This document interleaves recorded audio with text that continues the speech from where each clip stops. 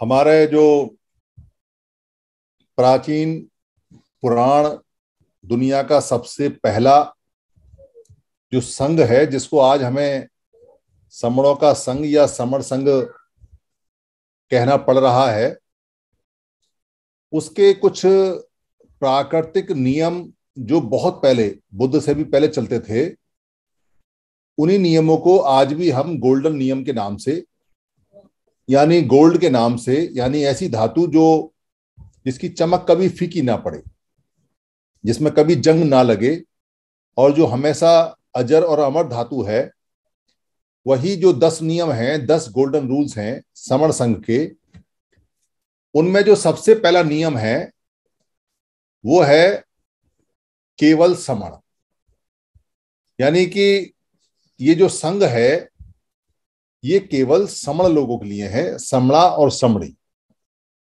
समण के अलावा जो भारत में पाए जाते हैं, जो उस समय भी थे वमण। बहुत पहले तो नहीं थे तो वमणों का इससे कोई लेना देना नहीं है। इसका जो दूसरा गोल्डन नियम है, गोल्डन रूल है, वो है, समण संघ ने पहले भी कभी पब्लिक से कोई पैसा, कोई चंदा नहीं लिया। कोई सोना, कोई धातु नहीं ली, क्योंकि रुपया पैसा तो था नहीं। पर जो रुपया है वो रूप से बना हुआ है और रूप धातु को बोलते हैं, यानी कि मटेरियल को बोलते हैं। कोई चंदा, कोई मटेरियल कोई रूप, कोई रुपया कभी नहीं लिया। और ना ही अब इस समय जो समर संघ है, वो कोई भी चंदा पब्लिक से लेता है, ना कोई रुपया लेता है। और ना ही भविष्य में, क्योंकि ये अजर अमर है, समर संघ जब तक पृथ्वी पे समर लोग रहेंगे, संघ रहेगा, ना ही कभी लेगा। इसका तीसरा गोल्डन नियम और सुनहरा नियम है, जाति का अभ्यास कभी नहीं। बुद्ध से पहले जातियाँ नहीं थी, जो आज के समय कास्ट प्रैक्टिस चलती है वैसी, जाति अभ्यास। और लगभग 400-500 साल पहले तक, जब तक ये काल्पनिक किताबें नहीं आई, तब तक भी कहीं जाति का कहीं ज़िक्र नहीं मिलता किसी भी साहित्य में। जाति अभी की बनाई हुई है। जब जब संघ खत्म होता है, संघ टूटता है तो उसके जो टुकड़े होते हैं उनको किसी ना किसी नाम से जाना जाता है यहाँ उनको जाति के नाम से जाना जाता है। अगर आप जाति का अभ्यास करते हैं तो टुकड़ों का अभ्यास करते हैं फिर संघ का अभ्यास नहीं हो सकता। या तो जाति का अभ्यास रहेगा या संघ का अभ्यास रहेगा। कोई आदमी ये कहे कि, कि मैं संघी भी हूँ संघ में काम भी करता हूँ संघी है संघ को जानता भी हूँ और जाति भी रखता हूँ। ये ठीक ऐसी बात है कि कोई आदमी ऐसा कहता है कि मैं आग भी रखता हूँ और आग के साथ में पानी भी रखता हूँ। ऐसा नहीं हो सकता। इसलिए जाति अभ्यास संघ में कभी नहीं होगा। तीसरा इसका गोल्डन नियम है। चौथा इसका नियम है केवल संघवाद। यानी अगर ये समण संघ है तो यहाँ सिर्फ़ संघवाद ही होगा, क्योंकि ये समण संगठन नहीं है, ये समण राजा नहीं है समण रानी नहीं है, ये समण एकल नहीं है समण व्यक्ति नहीं है। यहाँ व्यक्तिवाद की, नेतावाद की, राजावाद की, रानीवाद की एनार्की की, तानाशाही की, यहाँ कहीं भी कोई भी लेस मात्र कोई जगह नहीं है। केवल संघ में संघवाद चलता है, संघ सारे काम करता है, संघ के द्वारा संघ के लिए और संघ के। By the Sangh for the Sangh of the Sangh. वही बात जो बाबा साहब ने संविधान में उठाई है by the people for the people of the people यानी जो संघ है, वो पीपल ही है, लोग ही हैं। तो इसका मतलब लोगों की बात लोगों के द्वारा और लोगों के लिए यही संघवाद है। और वही इसमें चलता है और वही चलेगा। पहले भी वही चलता था, अभी भी वही चल रहा है और जब तक संघ रहेगा, तब तक चलेगा। और संघ तब तक रहेगा, जब तक पृथ्वी पे दो भी लोग संगी हैं, यानी समर संघी हैं, तब तक रहेगा। पांचवा इसका नियम है, समर संघ के अंदर पद, प्रतिष्ठा, मंच, माला ना पहले कभी थी, ना अभी है, ना उसकी हम प्रैक्टिस करते हैं और ना ही आगे कभी भविष्य में होगी। यानी यहाँ कभी ना आपको पद मिलेगा, ना प्रतिष्ठा मिलेगी कि किसी व्यक्ति की यहाँ प्रतिष्ठा की जा रही है, ना यहाँ मंच मिलेगी और ना यहाँ माला मिलेगी। ये बीमारियाँ यहाँ नहीं है, पहले भी नहीं थी, अभी भी नहीं है। बुद्ध के गले में आपने कभी भी कोई माला किसी साहित्य में नहीं देखी होगी, जिन्होंने भिक्खु संघ, भिक्खुड़ी संघ, उपासक संघ और उपासिका संघ के नियम बनाए। पांचवा नियम, छठा नियम है यहाँ, संघ के कभी पंजीकरण नहीं होता, संघों का कभी ना पंजीकरण होता है, ना ही संघ कभी राजा के दरबार में जाके घुटने टेकता है। राजा खुद संघ के दरबार में आता है, संघियों के बीच में आता है। इसलिए ना यहाँ कभी बैंक अकाउंट होगा, ना इसका रजिस्ट्रेशन होगा, ना पहले कभी हुआ है और ना ही हो सकता है। इम्पॉसिबल है कि भारत के सभी लोगों का कोई संस्था कहे कि मैं पंजीकरण करूँगी, नहीं हो सकता। सातवां इसका नियम है, संघादि से सबसे ऊपर, यानी जो संघ के आदेश जो भी आ रहे हैं, वो संघियों के लिए हर आदेश से ऊपर है, सारे आदेशों से सबसे ऊपर माने जाते हैं, वो पहले भी थे और अभी भी हैं। आठवां इसका नियम है, संघ राजनीति में कभी नहीं जाएगा। ना ही संघ कभी राजा के दरबार में गया है, ना ही आज के समय की राजनीति में जाएगा, पर संघ सब स्थिति पर निगाह रखता है। कोई समण अगर राजनीति में जाना चाहे, जा सकता है, उसको अपनी एक्टिव मेंबरशिप को नॉर्मल मेंबरशिप में कन्वर्ट करना पड़ेगा और वो ऑटोमेटिक हो जाती है। ये आठ के आठ जो नियम है, इनकी वीडियोज़ आ गई हैं, आप देख सकते हैं, उनको अच्छी तरह से समझें। और जो नौवा इसका नियम है, वो है संघ घातक की वापसी संघ में कभी नहीं। इसके बारे में आज चर्चा करेंगे। और दसवां नियम है, उपरोक्त नौ विनय संघ का आधार है। ये ना कभी बदले जाएँगे, ना खत्म किए जाएँगे, ना कभी अमान्य किए जाएँगे। ये दस गोल्डन नियम है जो संघ का आधार है और संघ का पूरी तरह से संघ को अपने में समेटे हुए हैं। जो आज का नियम है कि जो संघ है संघ घात जो करने वाला है, उसकी संघ में वापसी कभी नहीं। ये नियम बहुत इंपॉर्टेंट है और हमको ऐसी उम्मीद करनी चाहिए कि ये नियम हमें संघ में ना अप्लाई करना पड़े, ना लाग, ना इसका अभ्यास करना पड़े और ऐसी नौबत ना आए कि हमें संघ घात के नियम की प्रैक्टिस संघ में करनी पड़े। क्योंकि तो ये बहुत ही ज़्यादा खतरनाक या बहुत ही ज़्यादा दर्द भरा एक ऐसा नियम है जो जिस पे भी लगता है, उसकी एक तरह से अस्तित्व और उसका जीवन लगभग खत्म हो जाता है।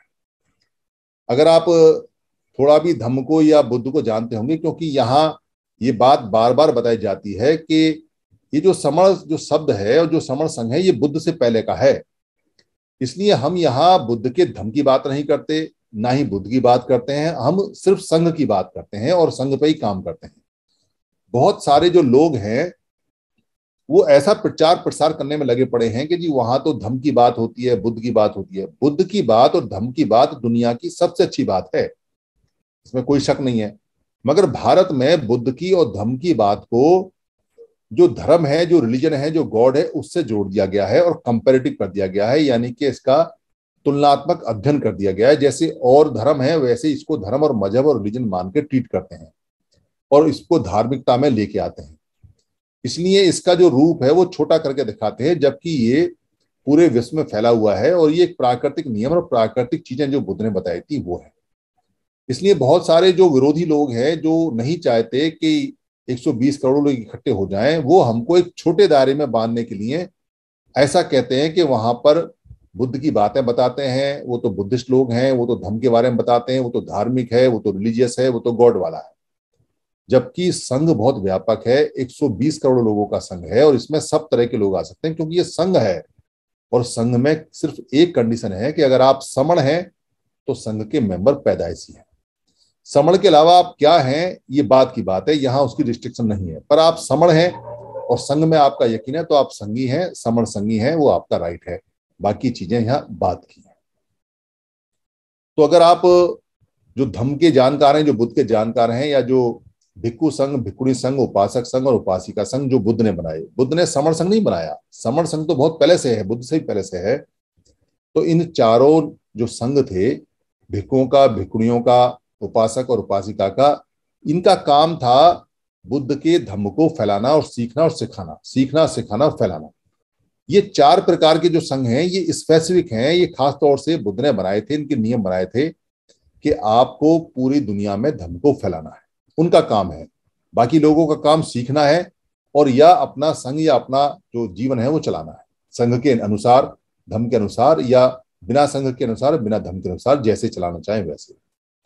तो बुद्ध के जो नियम है, यहाँ कुछ सिमिलर हैं जो मिलते हैं, क्योंकि वो यूनिवर्सल हैं और कुछ नहीं मिलते। क्योंकि बुद्ध के नियम भिक्खु और भिक्खुणी के लिए थे, जो यहाँ यहाँ के जो संघ घात के नियम है उसमें आते हैं।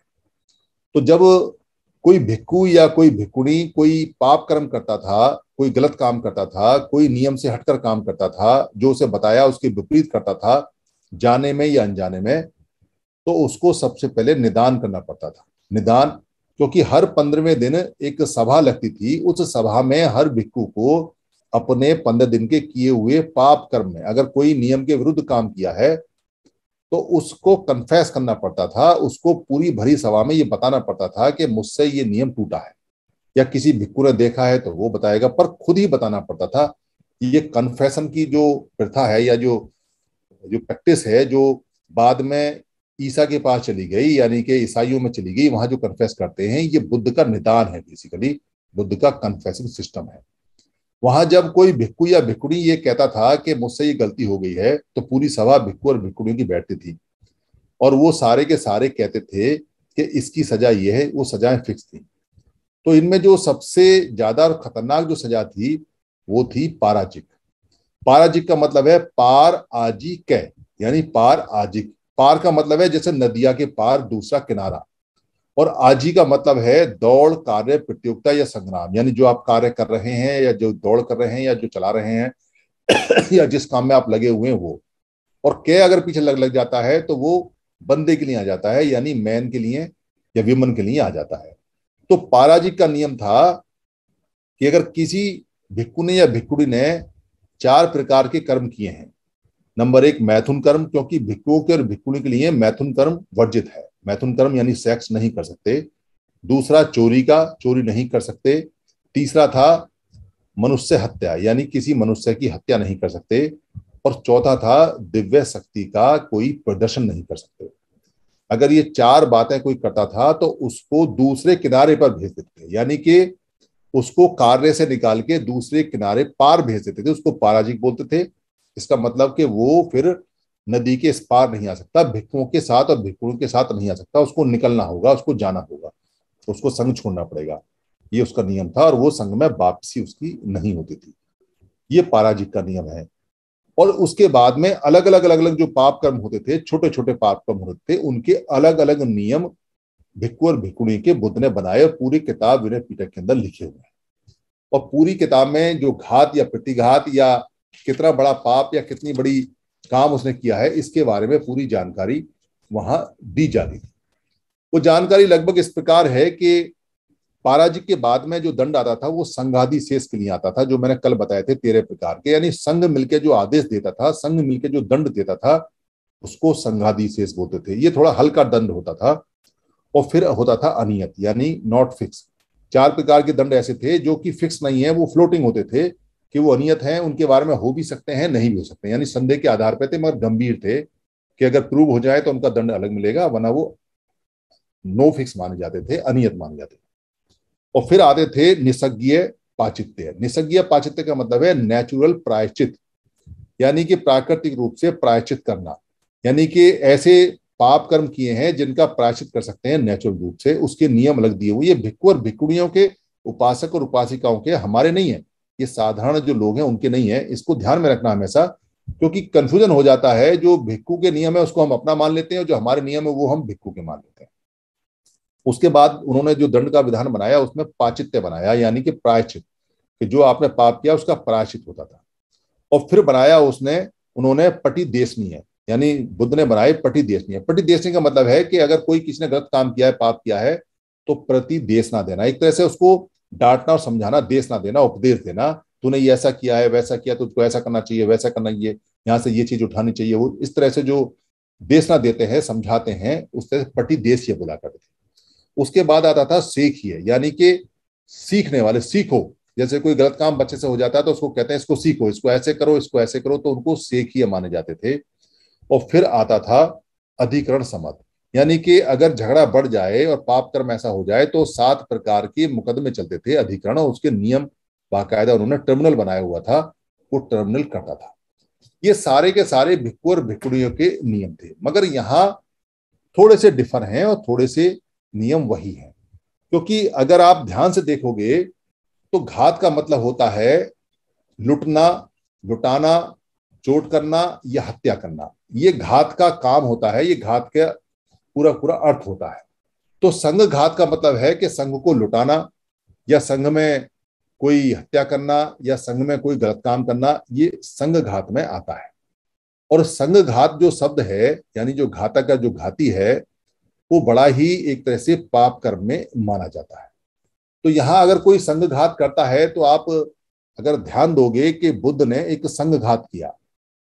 कब किया जब वो सिद्धार्थ गौतम थे बुद्ध नहीं थे, बुद्ध नहीं थे। तो जब गण परीक्षा लगी हुई थी और संघ बैठा हुआ था तो क्या संघ घात किया उन्होंने? उन्होंने संघ के नियम को नहीं माना।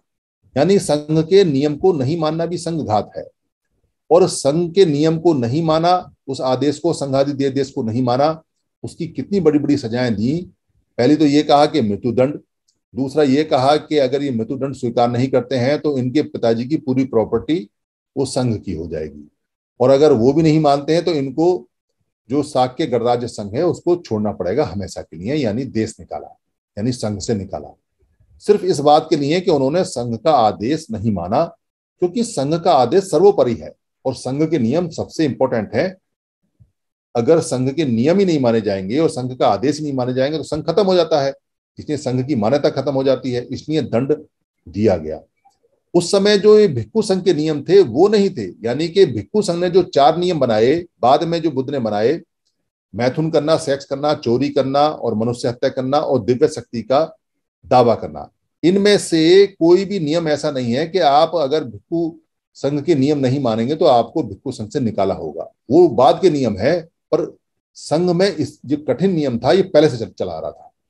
तो यहाँ जो नियम चलते हैं वो नियम सारे के सारे लगभग थोड़े से बदलकर वही है।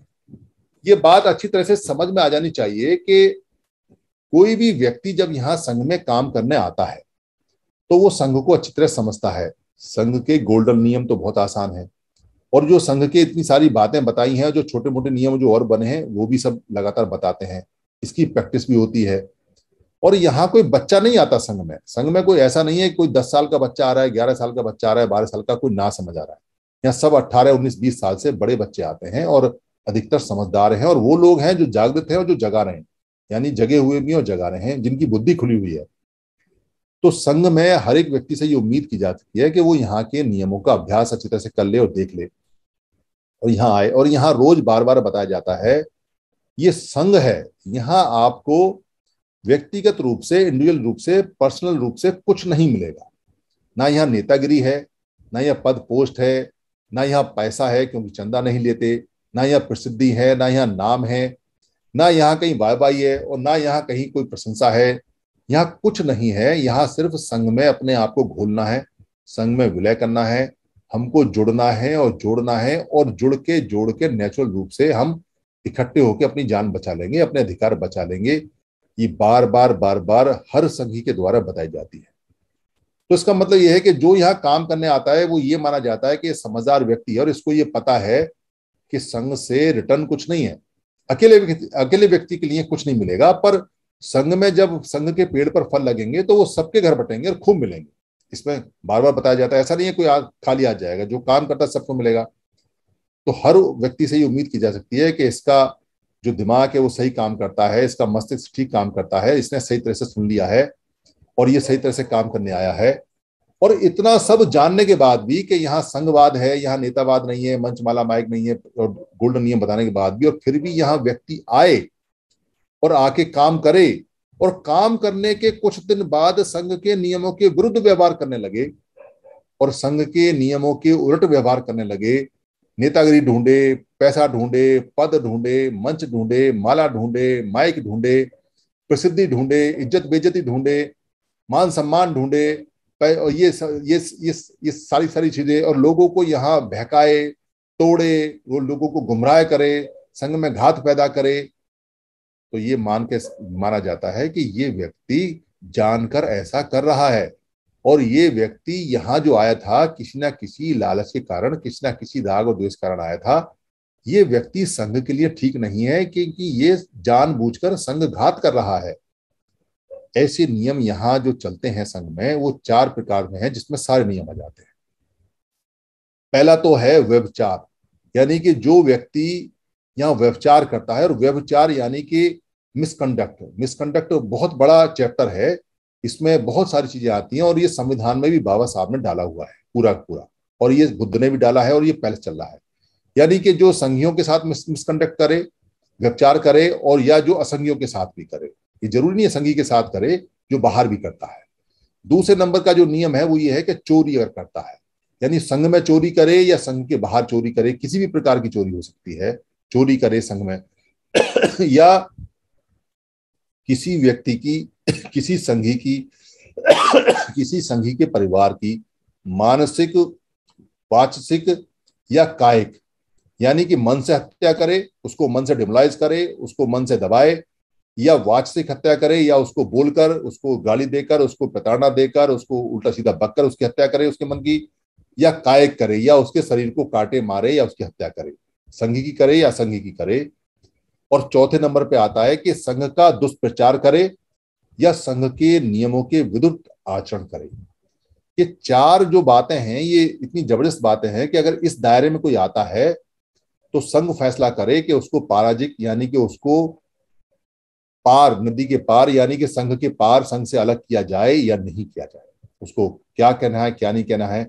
ये चार बातें संघ बर्दाश्त नहीं करता, क्योंकि अगर ये चार बातें संघ बर्दाश्त करेगा तो संघ के गोल्डन रूल खत्म हो जाते हैं तो संघ खत्म हो जाता है।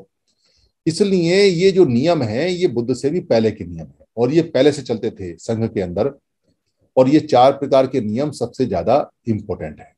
बाकी नियम छोटे छोटे छोटे छोटे जैसे बुद्ध ने बना के दिए और जैसे पूरी दुनिया में चलते हैं, और आज भी बाबा साहब ने वही नियम संविधान में उठाकर डाले हैं, जो आईपीसी के अंदर आते हैं।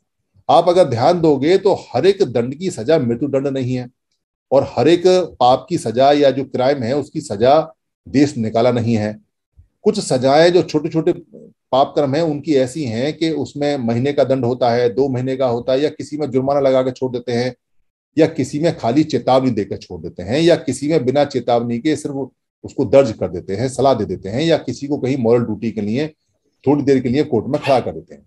यानी वही नियम है जो बुद्ध ने भिक्खु और भिकुणियों और उपासक उपासिकाओं के लिए बनाए, वही बाबा साहब ने उठा के बनाए हैं।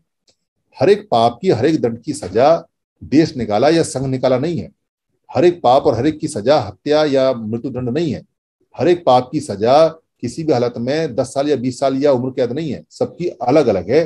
जितना सीवियर केस होगा, जितना सीवियर पाप होगा, उतना ही सीवियर उसका दंड होता है और ये विधान सारे बुद्ध ने बनाए हैं।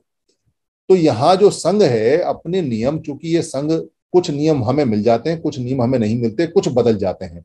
बदलने की प्रक्रिया लगातार चलती है। इसलिए संघ अपने नियम खुद ब खुद बनाता रहता है। जब कभी कोई समस्या आती है तो पूरा हाउस उसमें बैठता है, पूरा हाउस उसको प्रेजेंट करता है जो नियम वहाँ दिखाई देता है कि ये फिट है हाउस ने पास कर दिया, वो नियम यहाँ बन जाता है क्योंकि जो समण संघ है या संघ है, वो लकीर का फकीर नहीं होता। लकीर का फकीर इसलिए नहीं होता क्योंकि बुद्ध ने जितने नियम बनाए और जितने नियम संघ से पास करवाए भिक्खु संघ से, मरते मरते उन्होंने भी आनंद से ये कह दिया कि आनंद, भिक्खु अगर कुछ नियम बदलना चाहे तो बदल सकते हैं। समय के हिसाब से कुछ नियम अगर बदलना चाहे तो बदल सकते हैं, यानी कि नियमों को घटा बढ़ा भी सकते हैं। वो जानते थे इस बात को कि आज चाय कॉफ़ी नहीं है, जैसे उस समय चाय कॉफ़ी नहीं है, मगर आज चाय कॉफ़ी आ गई है तो ये नशे की जद में आती है या नहीं आती है? कोई आदमी कह सकता नशे की जद में आती है, कोई नहीं आ सकती तो चीज़ें बदलती रहती हैं, जुड़ती रहती हैं घटती रहती हैं। इसलिए बुद्ध ने अपने नियमों को खोल के रखा कि इसमें घटा भी सकते हैं, बढ़ा भी सकते हैं, और वही काम बाबा साहब अंबेडकर ने संविधान में किया कि संविधान में अमेंडमेंट हो सकते हैं डिलीशन भी हो सकते हैं एडिशन भी हो सकते हैं। वही काम ये समर्थन चूँकि संविधान को नेता मानता है और संविधान बुद्ध के त्रिपिटक को और विनय पिटक को नेता मानता है तो हम उस प्राचीन पद्धति से चलते आ रहे हैं। हमारे भी नियम सारे खुले हुए हैं कि जैसी परिस्थिति आती है, वैसा ही संघ बैठता है और वैसा ही नियम बना लेता है। ये गोल्डन रूल है और ये गोल्डन रूल के अंदर जो ये जो संघ घातक की वापसी कभी नहीं है, ये इसलिए नहीं है क्योंकि जैसा कि मैंने पहले बताया था कि एक व्यक्ति जब यहाँ आता है तो पूरा समझदार होता है। पागल के केस में या जो विक्षिप्त केस है, जो मानसिक रूप से विक्षिप्त है, वो केस अलग है। उसका तो संघ में स्थान है ही नहीं। इक्कीस प्रकार के लोगों का संघ में स्थान नहीं है, जो बुद्ध ने बैन किया हुआ है, यहाँ भी कुछ प्रकार के लोगों का जो आने का काम है, वो नहीं हो सकता, क्योंकि मन से विक्षिप्त है, दिमाग से विक्षिप्त है और मानसिक रूप से बीमार है, वो यह संघ में आके करेगा भी क्या?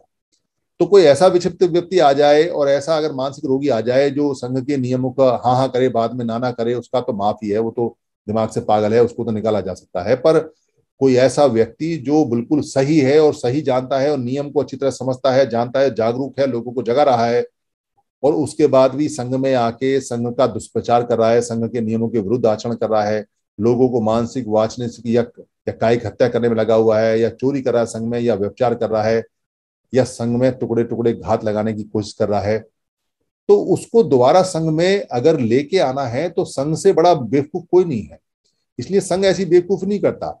जो बिल्कुल सही तरीके से आया और यहाँ के जो घात कर कर बैठा है, उसको अगर संघ ने वापिस ले लिया तो फिर वो ज़्यादा बड़ा घात करेगा और सब लोगों का रास्ता खुल जाएगा कि यहाँ तो बड़ी माफ़ी है, यहाँ तो कितना ही संघ तोड़ो, कुछ भी करो, यहाँ तो घर में वापसी हो जाती है, दोबारा ये तो संघ बड़ा कमज़ोर है, इसलिए लोग बार बार यहाँ क्राइम करेंगे बार बार यहाँ पाप करेंगे। आपको मैं ध्यान दिला दूँ कि यानी जो बुद्ध हैं बुद्ध हैं, उनका भाई देवदत्त, उसने संघ को तोड़ के नए लड़कों को 500 लड़कों को ले गया और ले जाके उनको अधम सिखाने लगा। बुद्ध ने अपने दो भिक्कुओं को वहाँ भेजा और दो भिक्कुओं ने वहाँ पे जाके उनको सही तरह से समझाया और वो वापस लेके आए। पर बुद्ध ने देवदत्त को वापस नहीं लिया, क्योंकि देवदत्त ने जानकर ये काम किया था। जानकर वो रिद्धि बल का बहुत बड़ा ज्ञाता था, बहुत जागृत था, उसने संघ तोड़ा। इस संघ तोड़ने की जो सजा थी, माफ़ी कभी नहीं मिली। ऐसा कोई नियम संघ में बुद्ध ने नहीं बनाया, जबकि वो उनका भाई था। और भाई को भी उन्होंने वापस लाने के लिए कोई प्रावधान कभी रखा ही नहीं और ना ही कोई प्रपोजल हाउस में आया। संघ घातक की वापसी नहीं और देवदत्त लास्ट तक उनके मिलने के लिए, उनसे माफ़ी मांगने के लिए एड़िया रगड़ते रगड़ते मर गया और लास्ट में उसका दिल फट गया, यानी कि हृदय घात हो गया इस पीड़ा से और वो मर गया सड़ सड़ के। वो घिसट घिसट के मरा, वो बुद्ध को मिल भी नहीं पाया, माफ़ी भी नहीं मांग पाया। संघ घातक की ऐसी दशा होती है और ऐसी दशा होनी चाहिए, क्योंकि संघ सबोपरि है। अगर कोई संघ को तोड़ता है, इससे बड़ा अपराध नहीं है। ये हत्या से भी बड़ा अपराध है। इसलिए संघ घातक की संघ के अंदर कभी वापसी हो ही नहीं सकती। इसलिए उम्मीद करें कि जो संघ में काम करते हैं, वो सही मन से काम करें। अगर उनको काम नहीं करना है तो जाने का रास्ता है। कोई संघ में ज़बरदस्ती नहीं करता कि आपको काम करना जब तक आपको अच्छा लगे, करो। जब नहीं करता तो खुल के खुश होकर जाइए। संघ को बता के जाइए कि अभी मेरा मन संघ में काम करने का नहीं है। मैं संघ से निवेदन करता हूँ कि मुझे छुट्टी पे भेज दे चला जाए। ऐसा नियम बुद्ध ने अपने भिक्खु संघ में ही बनाया। बुद्ध ने अपने भिक्खु संघ में ये नियम बनाया कि जो यहाँ आना चाहता है, आए और यहाँ धर्म को सीखे और सिखाए, भिक्खु बने। और अगर भिक्खु में, भिक्खु जीवन में मन नहीं लग रहा है या भिक्खु जीवन में मन नहीं लग रहा है और वो जाना चाहता है तो चीवर को साइड में रखे और चला जाए। और फिर दोबारा आना चाहता है तो भिक्खु संघ की अगर इजाज़त होती है और भिक्खु संघ कहता है कि आ जाए और वो सेटिस्फाई है तो वो दोबारा आ सकता है। ऐसे भी किस्से हैं कि छह छह बार लोगों ने भिक्खु संघ को छोड़ा है और फिर छह छह बार ज्वाइन किया है। इसलिए समर संघ में भी कोई आदमी छह बार छोड़ सकता है और संघ चाहे तो उसको छह बार वापिस ले सकता है। कोई साठ बार जा सकता है और साठ बार वापिस ले ले सकता है, पर संघ घात ना करे, क्योंकि अगर संघ घात करेगा, उसकी वापसी नहीं है। मन करता है इन नियमों पे चलने का, मन करता है काम करने का, दस दिन आके देखे, दो दिन आके देखे, चार दिन आके देखे, कोई पैसा थोड़ी है, कोई फ़ीस थोड़ी है, कोई सदस्यता शुल्क थोड़ी है कोई इज़्ज़त बेचती का धंधा थोड़ी है, कोई कोई ये थोड़ी कहेगा, अरे, चार दिन काम किया, फिर आया नहीं आठ दिन काम किया, फिर आया नहीं, आठ दिन काम करे, आठ दिन का एक्सपेंस ले।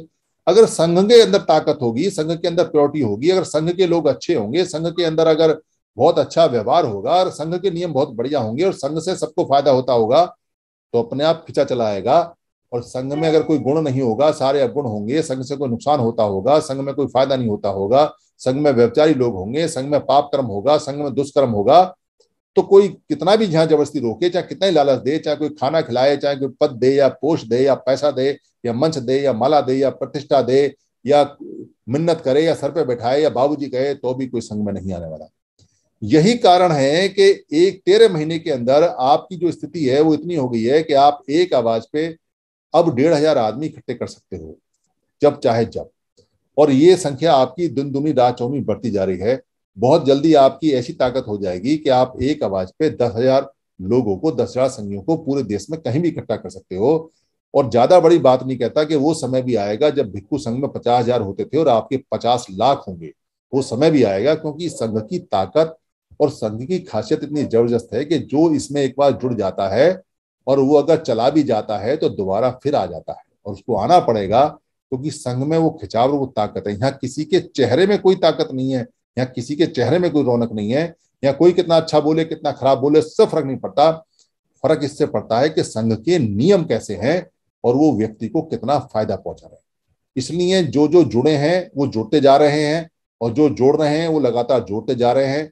जिद हमारी जुड़ने की और जोड़ने की है। जो जो लोग जुड़े हैं, उन्होंने आगे लोग लोग जुड़े हैं और जब जब लोग जुड़े हैं, उनके सारे कष्ट और जितने भी प्रताड़नाएँ वो दूर हो गई हैं।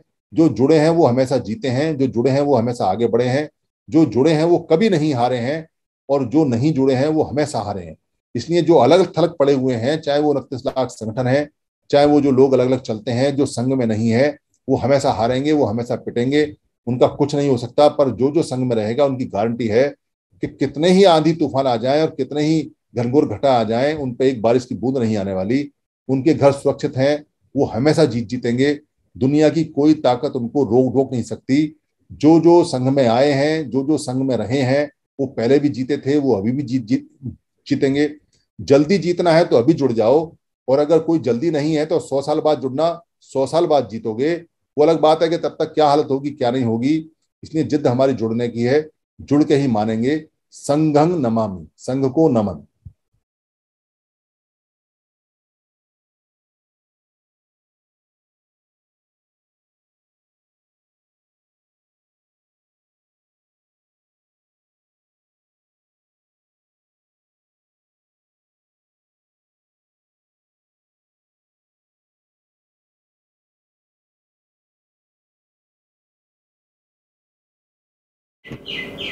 आप सभी से ये निवेदन है कि अगर आपको ये वीडियो अच्छी लगती है या बाकी वीडियो अच्छी लगी हैं, और आपको लगता है कि धर्म की वीडियो किसी को और मिलनी चाहिए या किसी को गिफ्ट में भेजनी चाहिए या किसी भाषा में कन्वर्ट करके आगे बढ़ानी चाहिए या प्रिंट में, किताब में छापनी चाहिए या इसकी जो ऑडियो है उसे निकाल के भेजना चाहिए या इसका किसी पार्ट को इस्तेमाल करना चाहिए तो आपको लिबर्टी है, आपको छूट है। ये सभी कॉपीराइट फ्री हैं। आप अपने फेसबुक पे, अपने पेज पे, अपने ट्विटर पे, या अपने हैंडल पे, या लिंक को कहीं भी शेयर कर सकते हैं, कहीं भी चला सकते हैं, आप यूट्यूब पे भी चला सकते हैं, अपने नाम से चला सकते हैं। इसके लिए इजाज़त लेने की या परमिशन ले, लेने की बिल्कुल भी ज़रूरत नहीं है। आप इसको अपना मान के चलाएँ, क्योंकि धम्म सबका है। हम जो बताते हैं, वो भगवान बुद्ध का है, या महापुरुषों का है। उन्हीं की बात को सरल भाषा में बताते हैं। हमारा सिर्फ़ इतना राइट है इस पर कि हम इसको लोड कर देते हैं। बाकी सारी ये पूंजी आपकी है। धन्यवाद। शरणं गच्छामि